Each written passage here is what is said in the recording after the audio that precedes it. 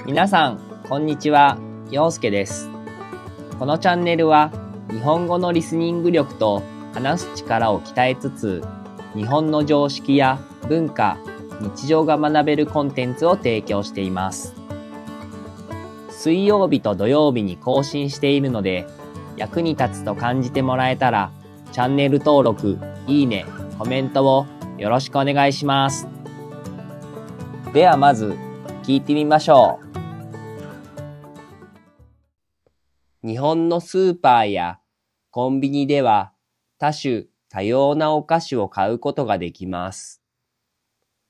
今回は独断と偏見で私のおすすめするお菓子をジャンル別でご紹介したいと思います。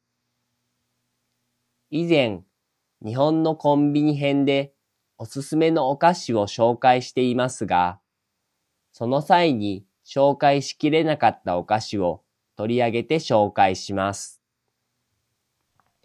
日本のコンビニ編をご覧になっていない方は、そちらも合わせてご覧ください。1、チョコレート。チョコレートはおすすめの商品がたくさんあります。今回はその中でも3つご紹介します。1つ目は、日本人なら一度はキノコ派、タケノコ派と聞かれたことがある、キノコの山とタケノコの里です。サクサクのクラッカーとまろやかなミルクチョコレートのキノコの山と、サクサクだけど口の中でとろけるビスケットとミルクチョコレートが合わさったタケノコの里。発売から間もなく50周年を迎えますが、日本人に愛され続けるお菓子です。皆さんもどちらが気に入るかぜひ試してみてください。二つ目はポッキーです。ポッキーは細長いビスケットスティックをチョコレートでコーティングした日本初の人気スナックです。チョコレートの種類も豊富で、ミルクチョコレート、ストロベリー、抹茶など様々な味があります。また、季節や地域限定の味も登場しており、お土産としてもよく購入されています。三つ目は、キットカットです。日本では抹茶や桜など季節ごとに様々な限定味が登場します。キットカットという商品名がキットカツという言葉に似ていることから、試験の合格を願って送る文化もあり、受験生にも人気があります。2、グミ。噛み応えのあるグミは、大人から子供まで幅広い層に人気です。ポイフルは、ラズベリー、レモン、青リンゴ、グレープの味が含まれ、見た目にも鮮やかです。ついつい、もう一つ、もう一つと口に運んでしまいます。ピュレ組は、その名の通り、果汁をぎゅっと凝縮したような味わいが楽しめます。酸味と甘みのバランスが絶妙で、ビタミン C も含まれています。その他にも、コーラやソーダ味のグミも人気で、本当に様々なグミの商品がお菓子コーナーには並んでいます。それだけ日本人に愛されるお菓子の一つです。3、飴。ちょっと小腹が空いたとき、優しく喉を潤してくれるのが飴です。パイン飴は缶詰に入っているパイナップルの形をしています。ジューシーでトロピカルな味わいが楽しめ、多くの人に愛されています。その他の飴として、レモン味やミルク味、コーヒー味、フルーツ味やミント味も人気です。4. スナック菓子。チップスターは、蓋が閉められる便利な筒型の容器に入っているのが特徴で、少し塩味がするものが食べたいときにおすすめのお菓子です。薄塩味、コンソメ味、海苔塩味など、様々な味が発売されています。ハッピーターンは、サクッと軽い食感で、独特のハッピーパウダーで知られる日本のお菓子です。このパウダーが甘じょっぱい味わいを生み出し、一度食べると病みつきになる人が多いです。その他、ポテトチップスやとんがりコーン、ベビースターラーメンは不動の人気スナックです。5. その他のおすすめのお菓子。カントリーマームはまるで家庭で焼き上げたようなふわふわとした食感が特徴のソフトクッキーです。中はしっとりしていてそれでいて表面はほんのりとカリッとしています。オーブントースターで温めて食べるとさらに美味しさが増します。ルマンドはいくつも重ねた薄いクレープ生地がココアクリームで包まれたお菓子です。サクサクとした食感とココアクリームの甘みを持ち、1974年に発売されて以来、長きにわたり愛されている商品です。6、おつまみ系のお菓子。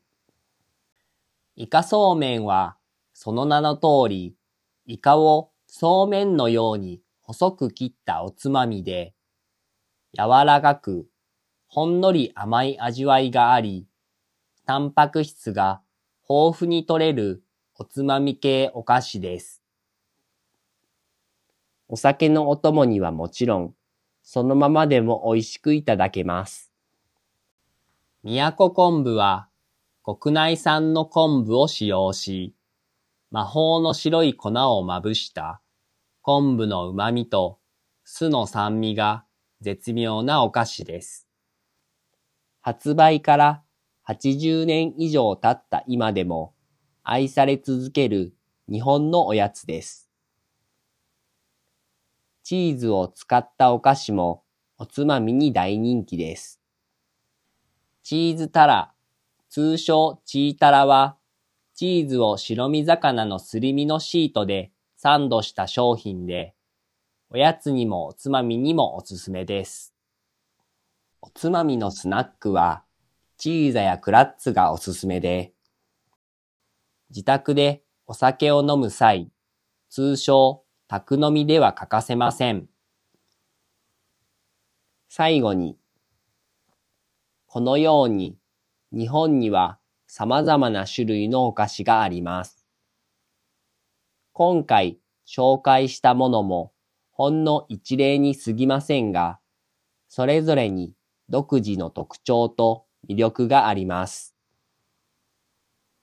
日本への旅行時はもちろん、概要欄に Amazon のリンクを記載しておきますので、気になるものがあれば、オンラインでも探してみてください。日本語学習の一環として、パッケージの日本語を読んでみるのも楽しいと思います。日本語の面白い表現が見つかるかもしれません。お菓子を通じて日本の文化や言語に触れてみてください。日本に興味を持っていただけたら嬉しいです。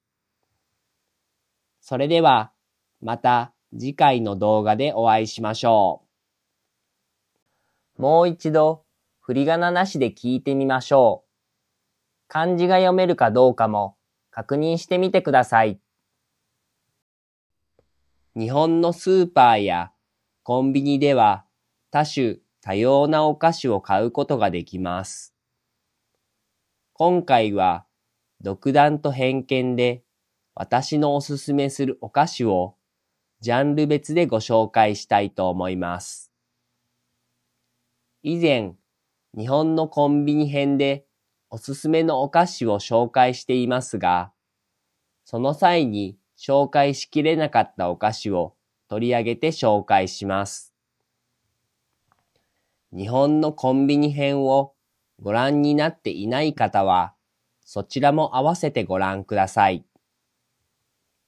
1、チョコレート。チョコレートはおすすめの商品がたくさんあります。今回はその中でも3つご紹介します。1つ目は日本人なら一度はキノコ派タケノコ派と聞かれたことがあるキノコの山とタケノコの里です。サクサクのクラッカーとまろやかなミルクチョコレートのキノコの山と、サクサクだけど口の中でとろけるビスケットとミルクチョコレートが合わさったタケノコの里。発売から間もなく50周年を迎えますが、日本人に愛され続けるお菓子です。皆さんもどちらが気に入るかぜひ試してみてください。二つ目は、ポッキーです。ポッキーは、細長いビスケットスティックをチョコレートでコーティングした日本初の人気スナックです。チョコレートの種類も豊富で、ミルクチョコレート、ストロベリー、抹茶など様々な味があります。また、季節や地域限定の味も登場しており、お土産としてもよく購入されています。三つ目は、キットカットです。日本では抹茶や桜など季節ごとに様々な限定味が登場します。キットカットという商品名がキットカツという言葉に似ていることから、試験の合格を願って送る文化もあり、受験生にも人気があります。2、グミ。噛み応えのあるグミは、大人から子供まで幅広い層に人気です。ポイフルは、ラズベリー、レモン、青リンゴ、グレープの味が含まれ、見た目にも鮮やかです。ついついもう一つもう一つと口に運んでしまいます。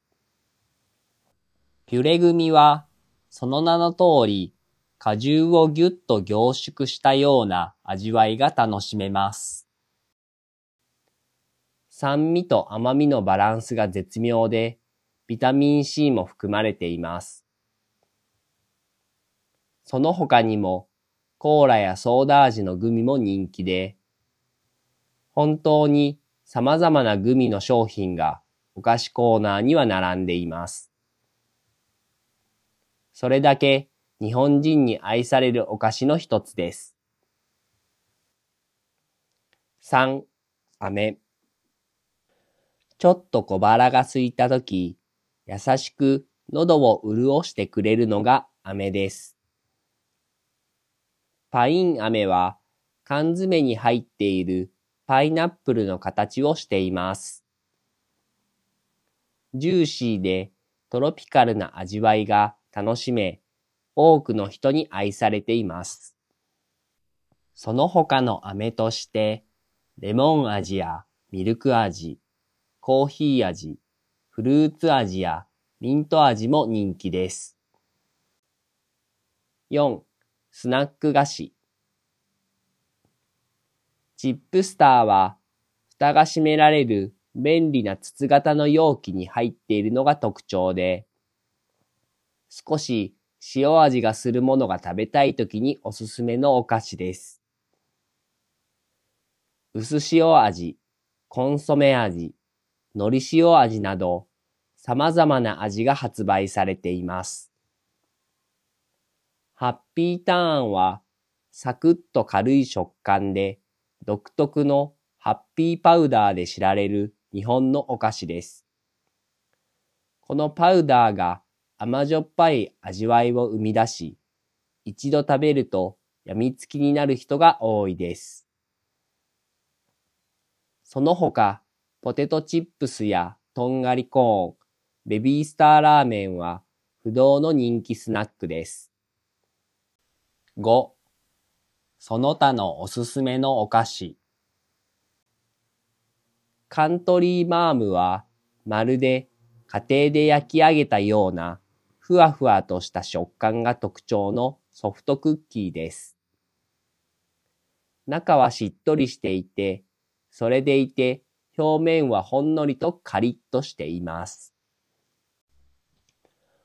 オーブントースターで温めて食べると、さらに美味しさが増します。ルマンドはいくつも重ねた薄いクレープ生地がココアクリームで包まれたお菓子です。サクサクとした食感とココアクリームの甘みを持ち、1974年に発売されて以来、長きにわたり愛されている商品です。6. おつまみ系のお菓子。イカそうめんは、その名の通り、イカをそうめんのように細く切ったおつまみで、柔らかく、ほんのり甘い味わいがあり、タンパク質が豊富に取れるおつまみ系お菓子です。お酒のお供にはもちろん、そのままでも美味しくいただけます。宮古昆布は国内産の昆布を使用し、魔法の白い粉をまぶした昆布の旨味と酢の酸味が絶妙なお菓子です。発売から80年以上経った今でも愛され続ける日本のおやつです。チーズを使ったお菓子もおつまみに大人気です。チーズタラ通称チータラは、チーズを白身魚のすり身のシートでサンドした商品で、おやつにもおつまみにもおすすめです。おつまみのスナックは、チーザやクラッツがおすすめで、自宅でお酒を飲む際、通称、宅飲みでは欠かせません。最後に、このように日本には様々な種類のお菓子があります。今回紹介したものもほんの一例に過ぎませんが、それぞれに独自の特徴と魅力があります。日本への旅行時はもちろん、概要欄に Amazon のリンクを記載しておきますので、気になるものがあればオンラインでも探してみてください。日本語学習の一環として、パッケージの日本語を読んでみるのも楽しいと思います。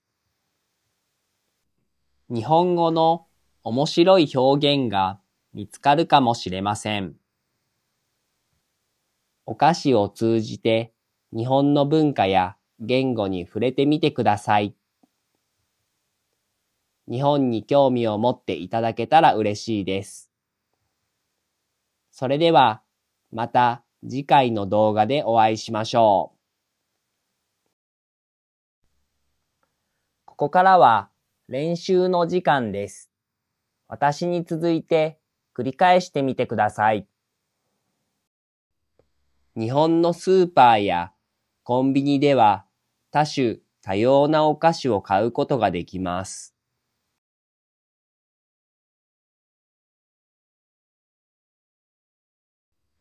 日本のスーパーやコンビニでは多種多様なお菓子を買うことができます。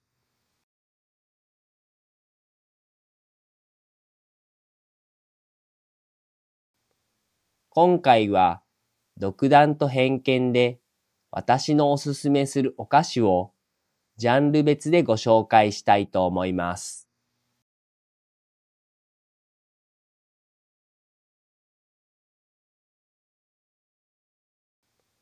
今回は独断と偏見で私のおすすめするお菓子をジャンル別でご紹介したいと思います。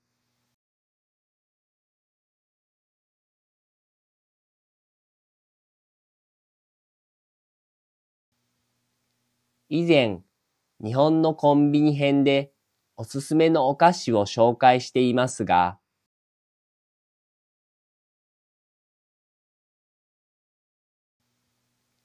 以前、日本のコンビニ編でおすすめのお菓子を紹介していますが、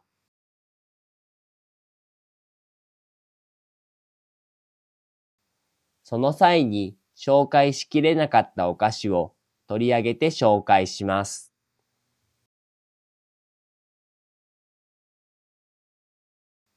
その際に紹介しきれなかったお菓子を取り上げて紹介します。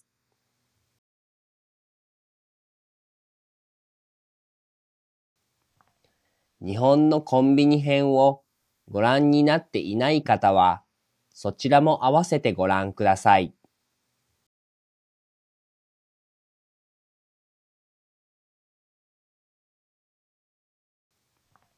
日本のコンビニ編をご覧になっていない方は、そちらも合わせてご覧ください。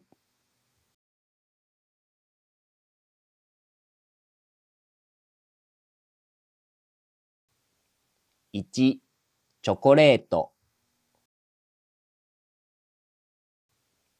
1、チョコレート。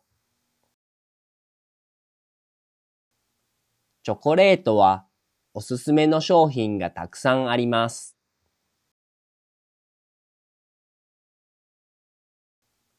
チョコレートはおすすめの商品がたくさんあります。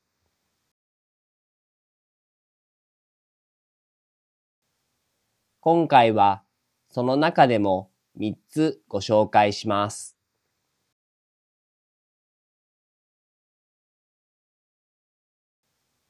今回はその中でも3つご紹介します。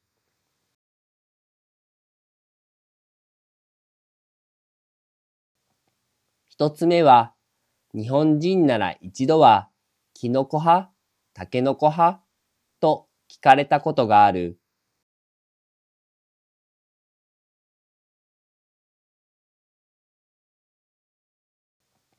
一つ目は、日本人なら一度は、キノコ派タケノコ派と聞かれたことがある。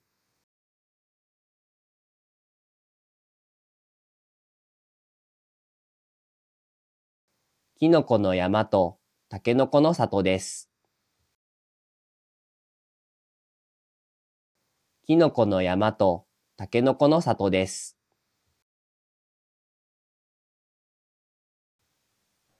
サクサクのクラッカーとまろやかなミルクチョコレートのキノコの山と、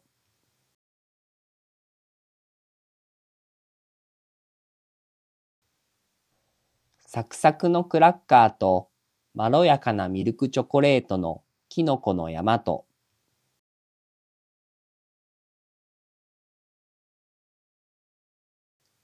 サクサクだけど口の中でとろけるビスケットとミルクチョコレートが合わさったたけのこの里。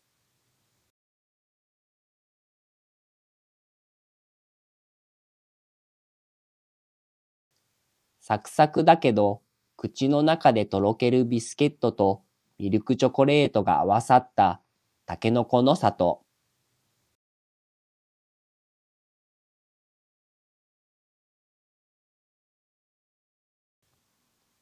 発売からまもなく50周年を迎えますが、日本人に愛され続けるお菓子です。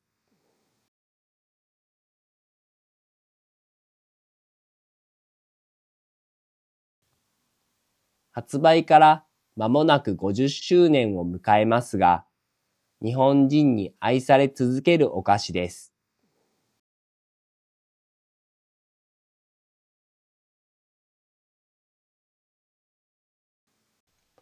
皆さんもどちらが気に入るかぜひ試してみてください。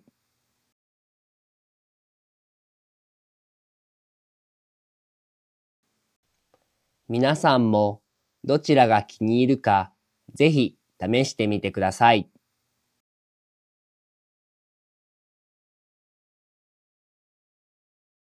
二つ目はポッキーです。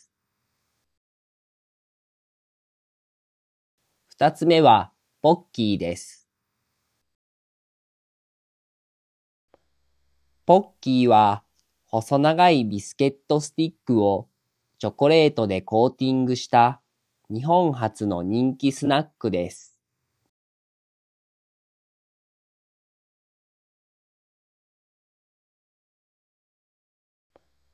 ポッキーは細長いビスケットスティックをチョコレートでコーティングした日本初の人気スナックです。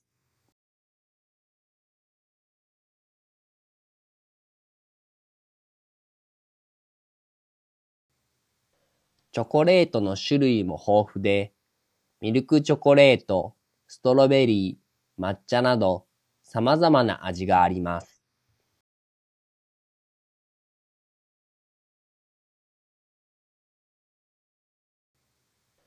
チョコレートの種類も豊富で、ミルクチョコレート、ストロベリー、抹茶など様々な味があります。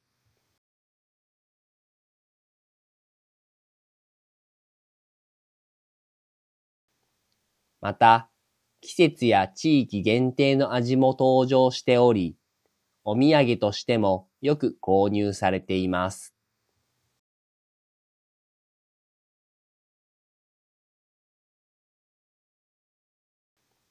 また、季節や地域限定の味も登場しており、お土産としてもよく購入されています。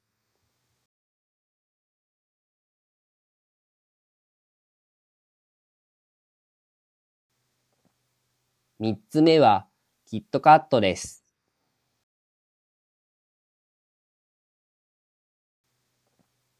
三つ目はキットカットです。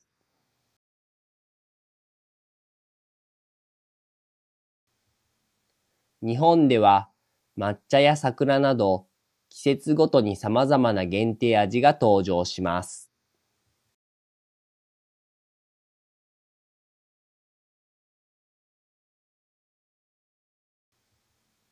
日本では抹茶や桜など季節ごとに様々な限定味が登場します。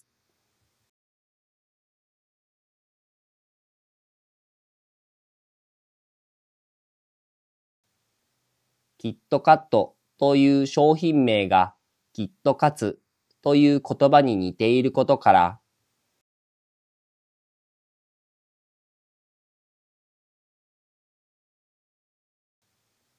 キットカットという商品名がキットカツという言葉に似ていることから、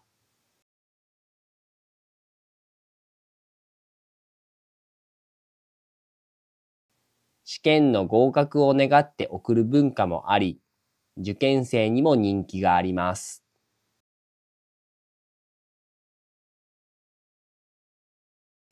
試験の合格を願って送る文化もあり、受験生にも人気があります。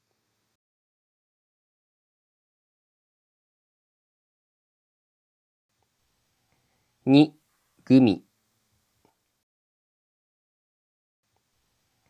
2、グミ。噛み応えのあるグミは、大人から子供まで幅広い層に人気です。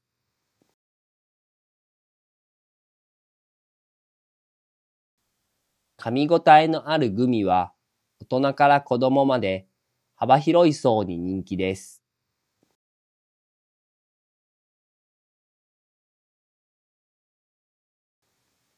ポイフルはラズベリー、レモン、青リンゴ、グレープの味が含まれ、見た目にも鮮やかです。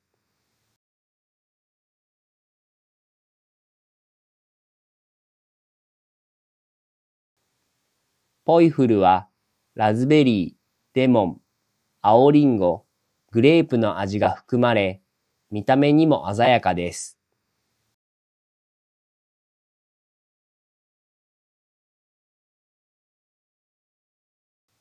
ついついもう一つもう一つと口に運んでしまいます。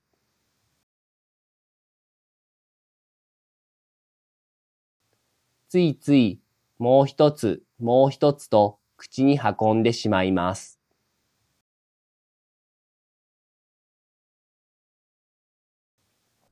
ピュレ組はその名の通り果汁をぎゅっと凝縮したような味わいが楽しめます。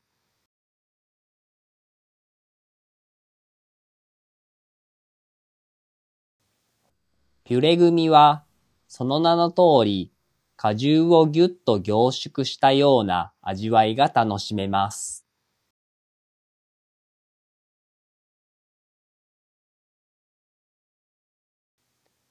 酸味と甘みのバランスが絶妙で、ビタミン C も含まれています。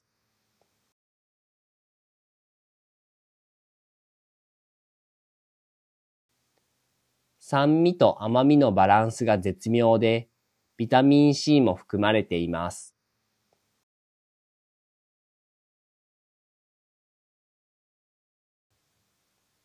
その他にも、コーラやソーダ味のグミも人気で、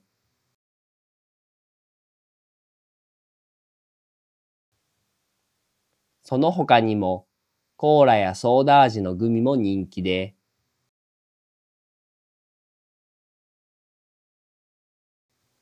本当に様々なグミの商品がお菓子コーナーには並んでいます。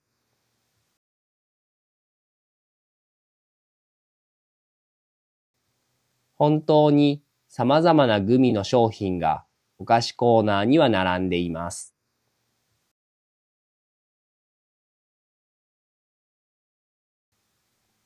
それだけ日本人に愛されるお菓子の一つです。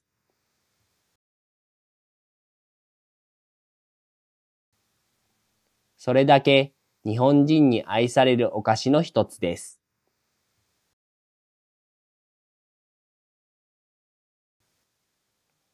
三、飴。三、飴。ちょっと小腹が空いたとき、優しく喉を潤してくれるのが飴です。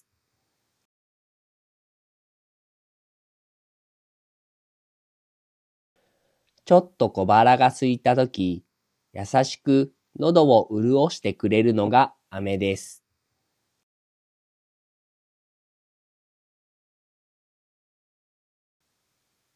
パイン飴は缶詰に入っているパイナップルの形をしています。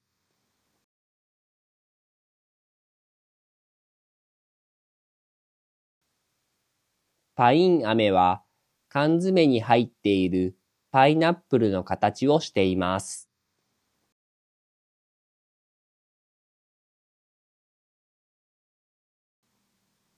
ジューシーでトロピカルな味わいが楽しめ、多くの人に愛されています。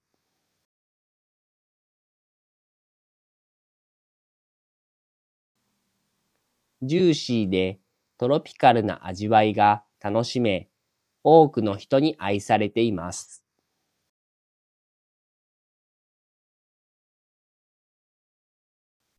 その他の飴として、レモン味やミルク味、コーヒー味、フルーツ味やミント味も人気です。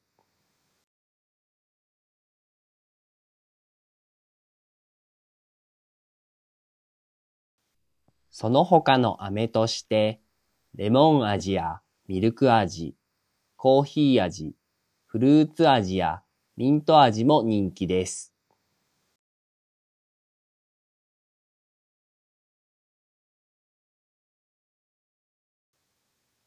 4. スナック菓子 4. スナック菓子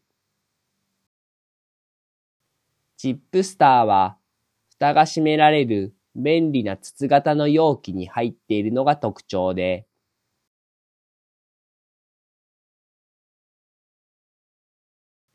チップスターは、蓋が閉められる便利な筒型の容器に入っているのが特徴で、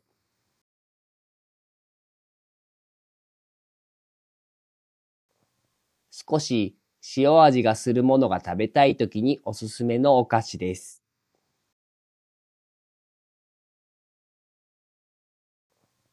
少し塩味がするものが食べたいときにおすすめのお菓子です。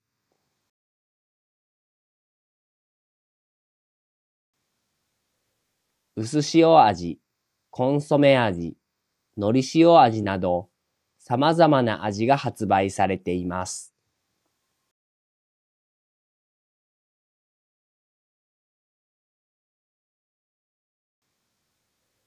薄塩味、コンソメ味、海苔塩味など様々な味が発売されています。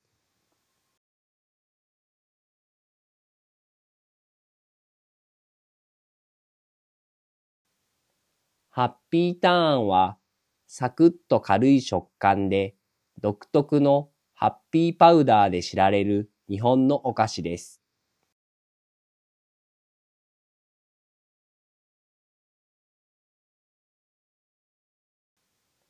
ハッピーターンはサクッと軽い食感で独特のハッピーパウダーで知られる日本のお菓子です。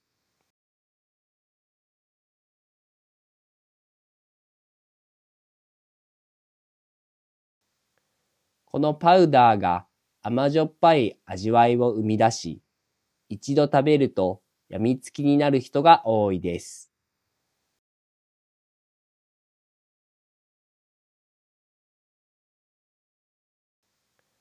このパウダーが甘じょっぱい味わいを生み出し、一度食べると病みつきになる人が多いです。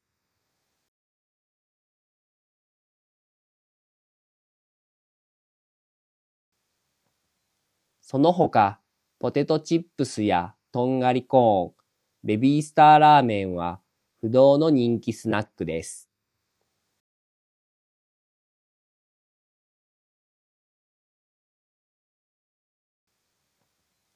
その他、ポテトチップスやとんがりコーン、ベビースターラーメンは不動の人気スナックです。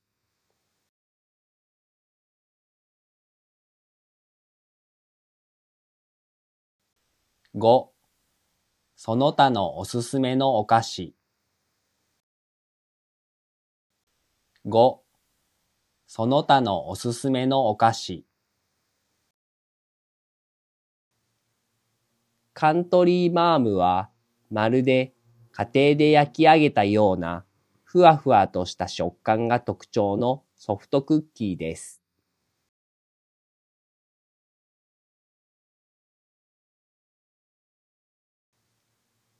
カントリーマームはまるで家庭で焼き上げたようなふわふわとした食感が特徴のソフトクッキーです。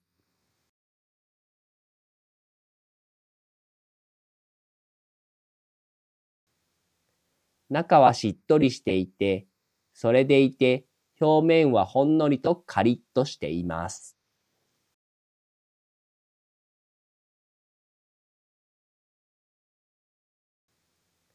中はしっとりしていて、それでいて表面はほんのりとカリッとしています。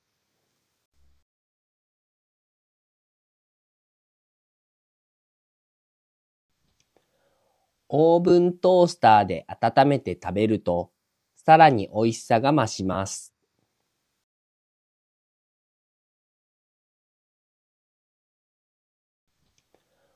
オーブントースターで温めて食べると、さらに美味しさが増します。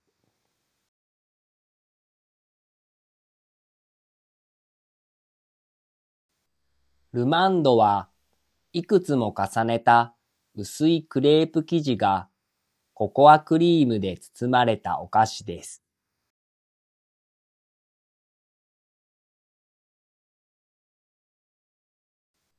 ルマンドはいくつも重ねた薄いクレープ生地がココアクリームで包まれたお菓子です。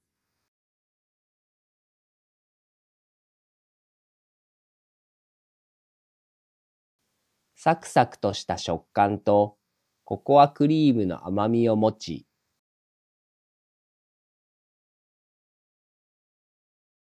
サクサクとした食感とココアクリームの甘みを持ち、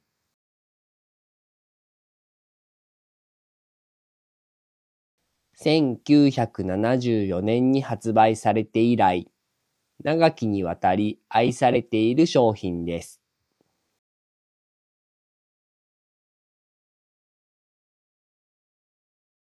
1974年に発売されて以来、長きにわたり愛されている商品です。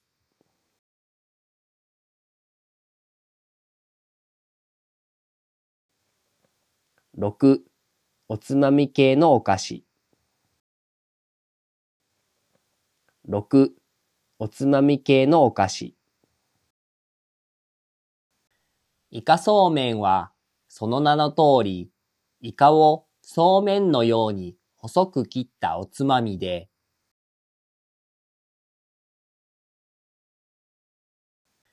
イカそうめんは、その名の通り、イカをそうめんのように細く切ったおつまみで、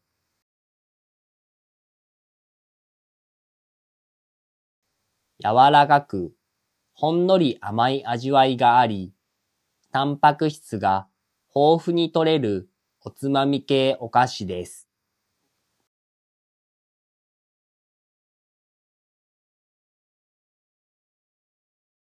柔らかく、ほんのり甘い味わいがあり、タンパク質が豊富に取れるおつまみ系お菓子です。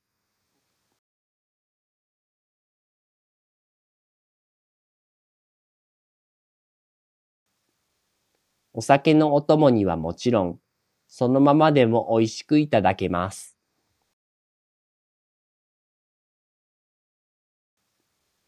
お酒のお供にはもちろん、そのままでも美味しくいただけます。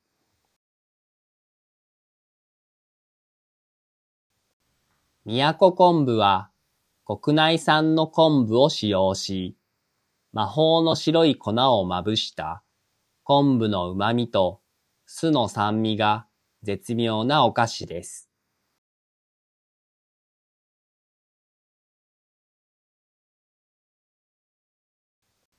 宮古昆布は国内産の昆布を使用し、魔法の白い粉をまぶした昆布の旨味と酢の酸味が絶妙なお菓子です。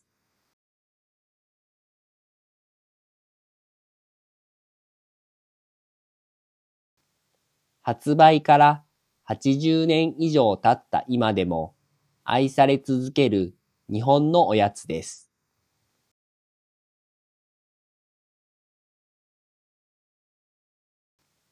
発売から80年以上経った今でも愛され続ける日本のおやつです。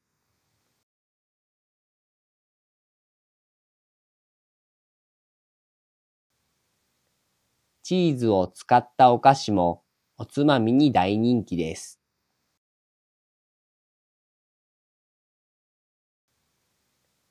チーズを使ったお菓子もおつまみに大人気です。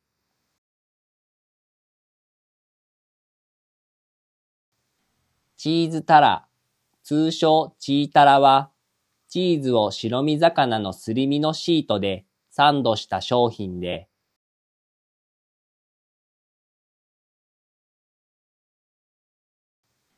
チーズタラ、通称チータラは、チーズを白身魚のすり身のシートでサンドした商品で、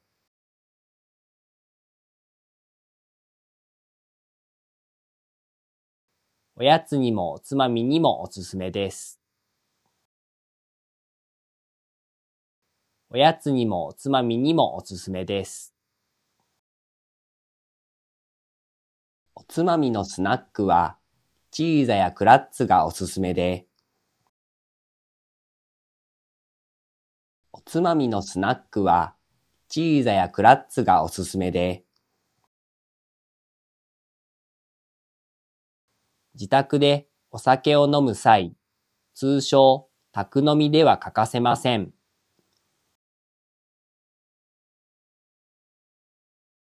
自宅でお酒を飲む際、通称、宅飲みでは欠かせません。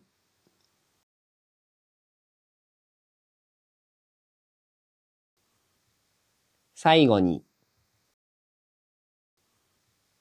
最後に、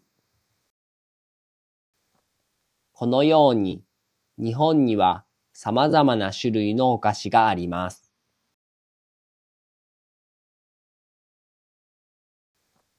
このように、日本には様々な種類のお菓子があります。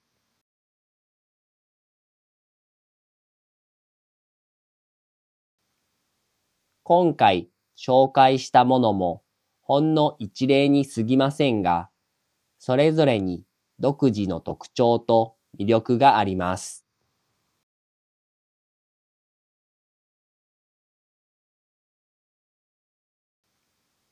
今回紹介したものもほんの一例に過ぎませんが、それぞれに独自の特徴と魅力があります。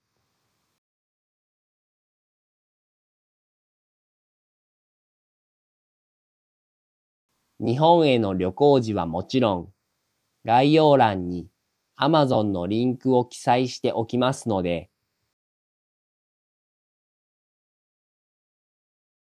日本への旅行時はもちろん、概要欄に Amazon のリンクを記載しておきますので、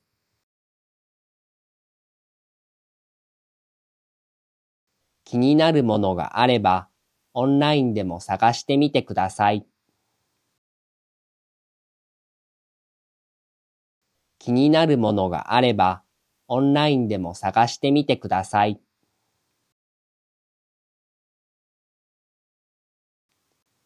日本語学習の一環として、パッケージの日本語を読んでみるのも楽しいと思います。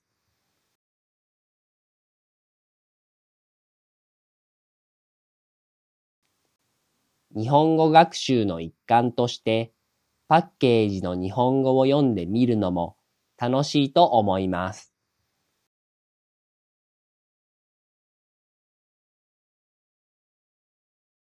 日本語の面白い表現が見つかるかもしれません。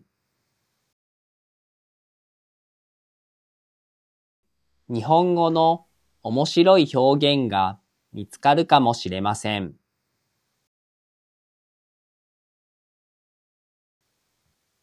お菓子を通じて日本の文化や言語に触れてみてください。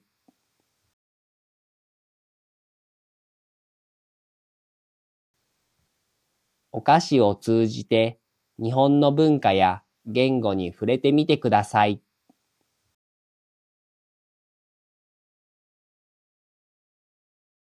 日本に興味を持っていただけたら嬉しいです。日本に興味を持っていただけたら嬉しいです。それでは、また次回の動画でお会いしましょう。